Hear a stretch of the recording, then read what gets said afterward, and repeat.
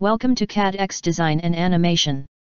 Today we are going to learn, complete hydraulic power pack system design, and its calculations.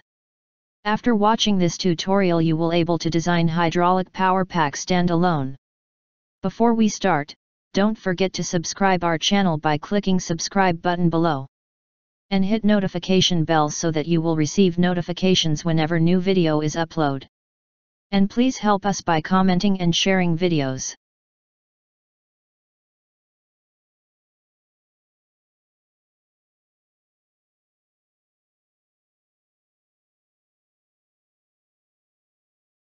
This circuit, like most hydraulic circuits, is all about transmitting power. In particular, we want to transmit power from here at the electric motor up to the conveyor's drive gear, which will turn the conveyor and move the load.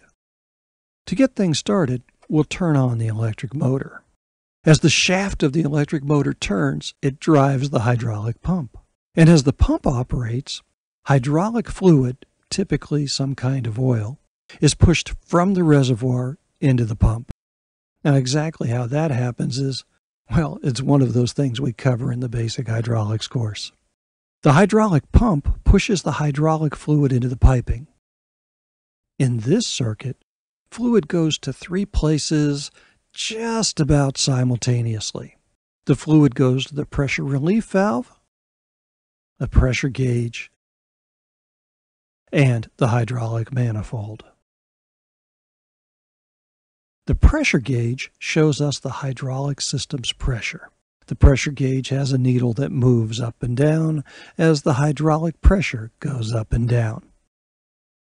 The relief valve is a safety device. If the system pressure gets too high, instead of having a line break or a fitting split, hydraulic fluid spills over the relief valve and back to the tank. The manifold is a block of metal with internal passageways drilled through it. Those passageways simplify the plumbing of the return line and the pressure line.